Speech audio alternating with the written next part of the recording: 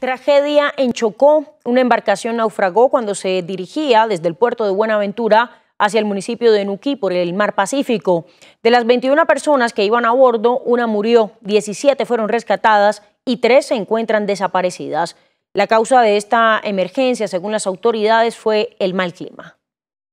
La embarcación Carol Tatiana partió desde el municipio de Buenaventura con destino al municipio de Nuquí, chocó con 21 personas a bordo. Según el relato de un testigo debido al mal clima, la embarcación naufragó. Las condiciones del mar en la noche de, ayer y durante la madrugada han sido bastante complicadas en, en el litoral del Pacífico y particularmente aquí en Buenaventura. El mar estaba muy pesado.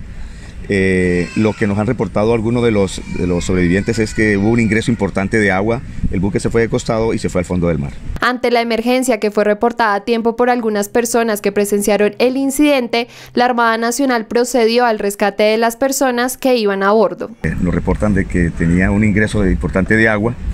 Eh, una vez recibida la alerta y con el apoyo de las informaciones recibidas de los pilotos prácticos del puerto de Buenaventura, se procede a activar un plan de búsqueda y rescate. De las 21 personas que viajaban en el barco, una murió, mientras que otras 17 fueron salvadas por las autoridades. Al momento, 18 personas rescatadas, eh, de las cuales 17 están con vida, de ellos hay 5 menores de edad afortunadamente sanos y salvos.